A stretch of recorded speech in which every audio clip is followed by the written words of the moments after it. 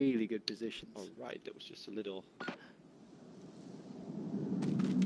And picks up the angles. Okay, we're on. Let's go.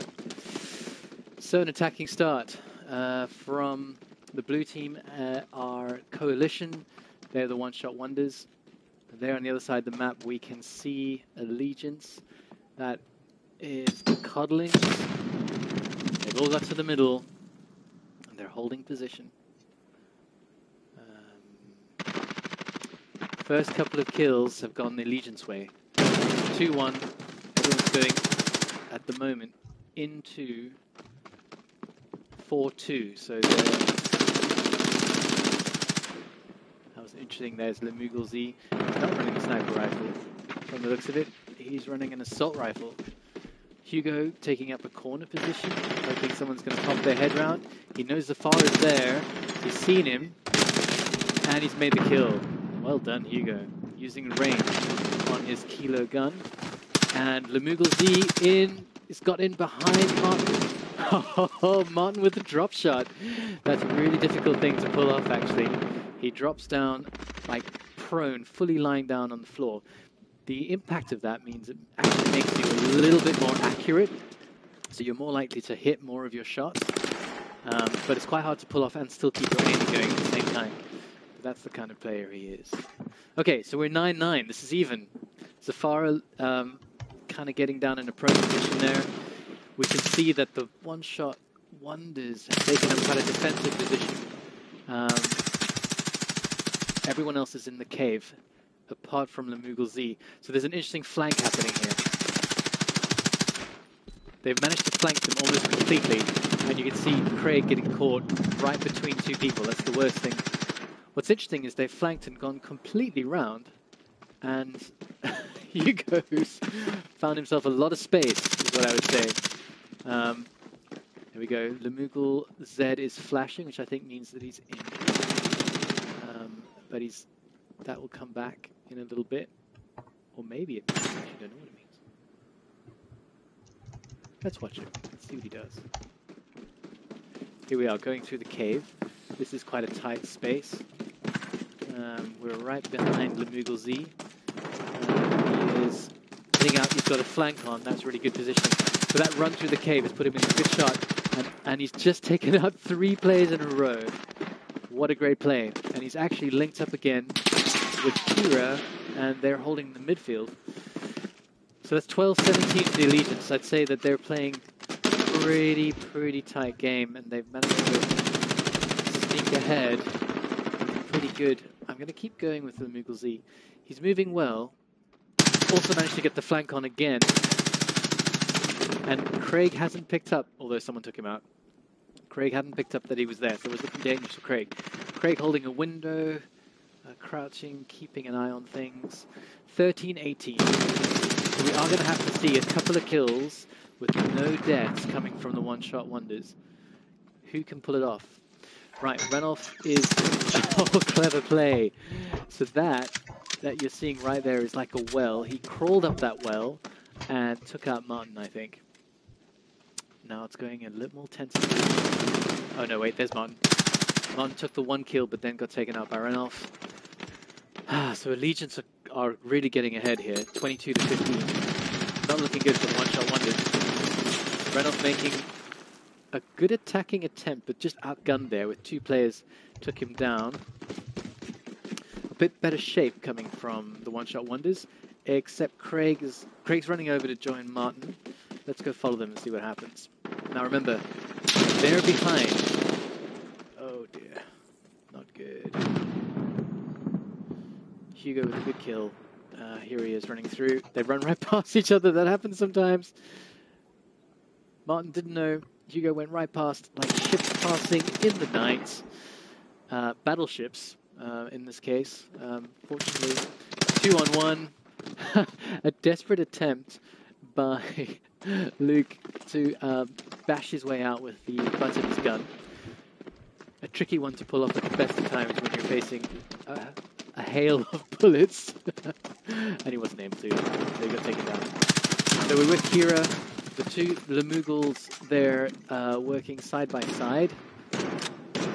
Actually, no, that's Ranulph and Kira. definitely working together on this. And you can see that's that's how they, they, they're managing to hold that lead. Lemugel has gone back to his sniper rifle. He's obviously decided that there's enough space on this map to make that work. He's got a bit of height. Um, someone's going to have to pick him off. That could be really tough to dislodge. Uh, Kira getting taken down, 22-29. Lemugel Z holding position over here, Martin. And then other Lemugel down the bottom. It was good defensive position, but everyone's decided to push. Now, if it were me, on the modeling side, I'd probably be playing more defensively, but let's go watch Kira, because, heck, it's fun to watch people attack. Kira's on! A bit of a run, but oh no! She got caught at the side by Morris Laptop, and then payback from Ranulph. Definitely trading here, but what you can see is that there's generally one extra kill in every interchange going to the... Uh,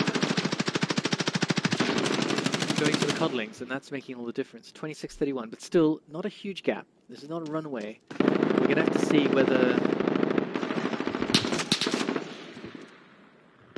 Martin and the team can actually hold it together. Here goes Lemugel Z. He's going to run, racing across the map. Interesting sort of shape now. You can see Reynolds and Kira sticking together good team play. They, they're often seen together, whereas um, maybe that, know, that's tactic. It's just the way they play. But holding position is good, and being aware of your other players is really, really important in a good team deathmatch. Let's watch Hugo. He's gone off on a lone mission. He wants some kills. He wants some glory. Can he find them on this side of the map? Not sure. He's all by himself. Uh, no, he isn't. Uh, that's Reynolds Swallow has come back. I'm going to go down the other side because there's not much happening here. There's just a lot of running around going on. We haven't heard a gunshot fire for a while. Okay, slim lead being held on. Martin there with the kill on Kira. Sorry, not Kira. Z, the other Lemugel. Kira's now been taken up um, by Martin this time. Let's go watch Jeffrey a little bit. Jeffrey doesn't know that there's somebody right there in front of him. He's gone the other direction. Okay. Interestingly enough, he's peeled away in the wrong direction. The action's happening the other side. So we've got Hugo and Ranulph hiding upstairs, um, kind of in the one corner of the map. Nothing much happening.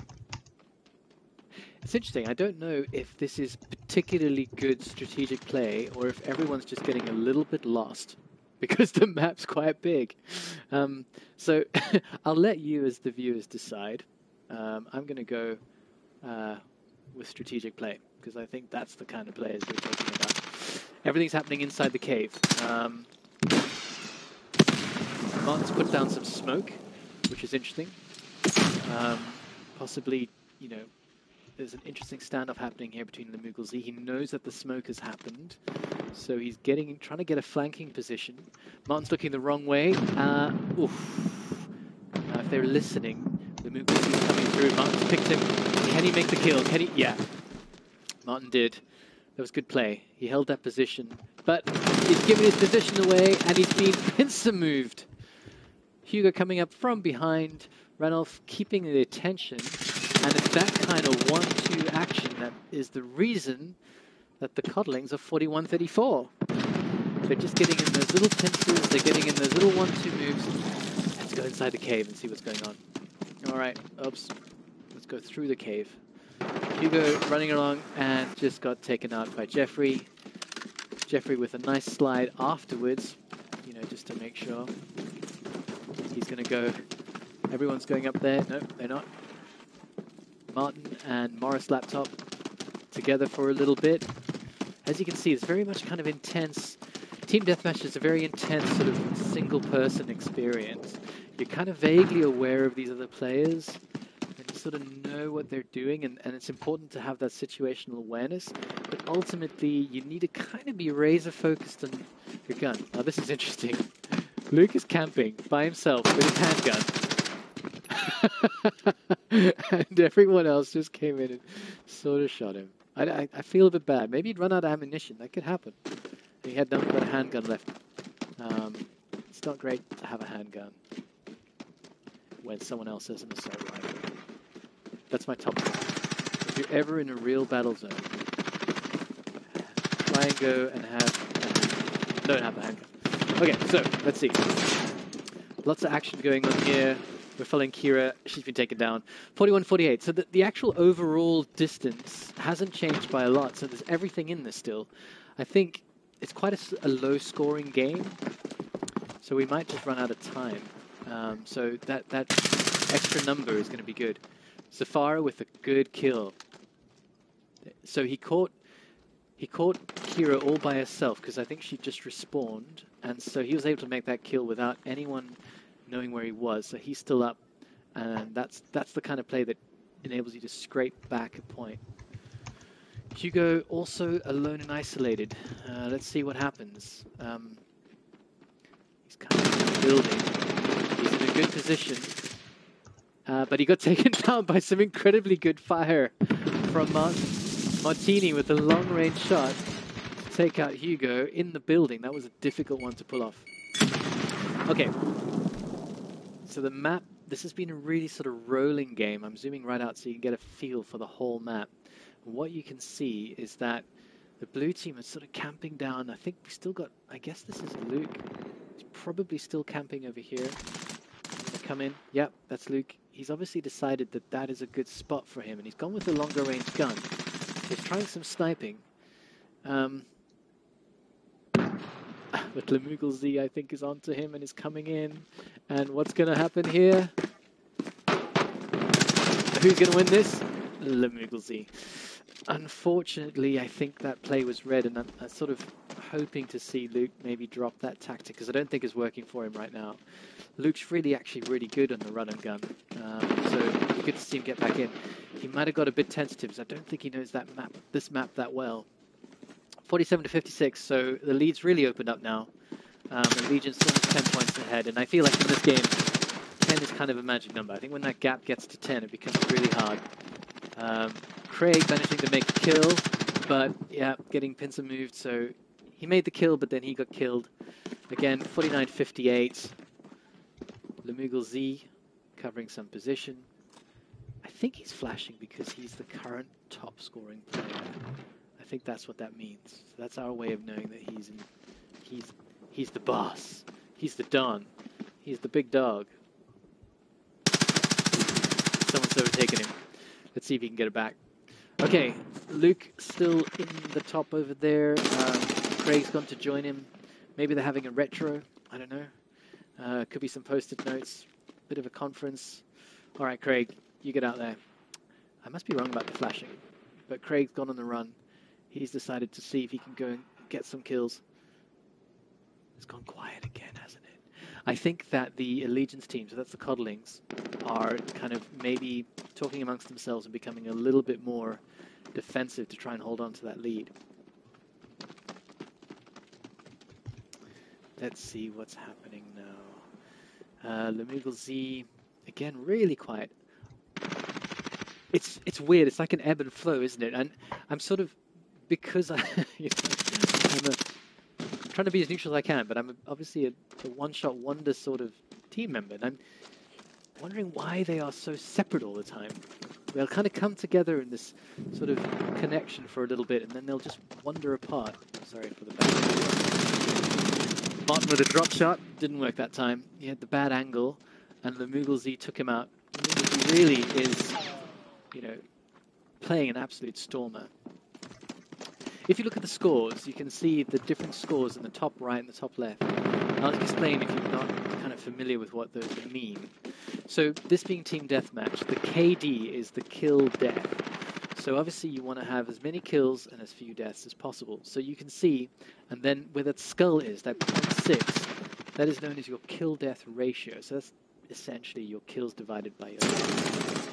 So Zafara is actually got 9 kills, 15 deaths. Martin, as you can see, is, is kind of way ahead on this side of the team. Um, there's not much time left, so I think it's all over. This is going to be a CoDlings win. I think it's 10 seconds to go, ticking down. Uh, we're not going to see that come back. the Moogle Z and the two little Moogles really um, kind of owning this. Um, Ranulph's not a bad effort either, but a resounding win by the CoDlings. Congratulations to them. That's going to decide, I think, make a bit of a change on, on what's happening on the overall Group B standings. Well done, both teams. Uh, hope you had fun, and thanks for everyone who tuned in.